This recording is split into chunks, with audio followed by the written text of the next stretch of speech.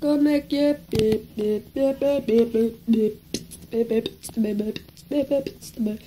Benfica vai ser tricampeão. E estou aqui para um vlog. Olá.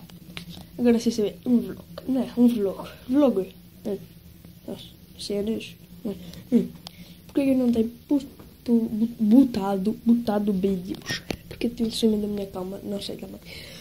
Botado vídeos. Porque. A internet está uma bosta. E eu já tinha botado a parte 4 e a 5 da Big Coleman, mas gravou e eu dia os vídeos. Mas não faz mal, não faz mal, porque ele faz com o jornal. Não liguei nas estupidez, tá. Pronto, esse é o aviso e fui.